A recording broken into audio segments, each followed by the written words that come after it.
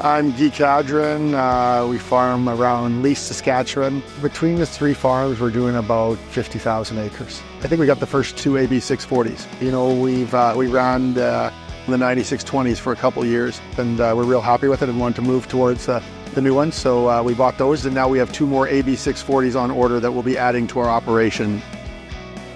You know, I think uh, we wanted to get uh, a larger footprint to apply product on, so we're making fewer passes. Uh, we like the fixed boom so that you know we know our product's going exactly where where it is. Uh, like anything, when you can make less passes, you become more efficient and you just get you get more acres uh, done uh, in uh, in a timely fashion, and uh, and, and that's that's important. There's less compaction because you're making less passes on the field.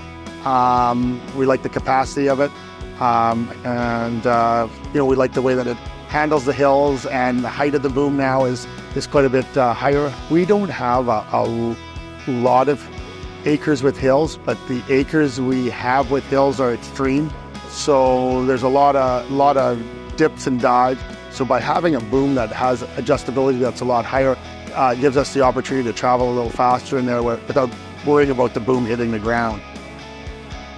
Uh, the ease of being able to put somebody in and, and train them to do that uh, um, definitely has improved with, with, with this system. Uh, it's uh, more user friendly, it is uh, uh more accurate, easier to calibrate. So all those things play a role in, in the unit.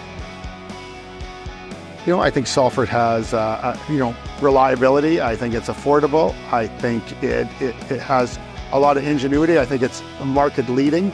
Uh, and I think they're constantly changing, right? You know, for adapting to what what is required. And uh, I think it shows in the products they have and the, and the lines and the direction the company is going.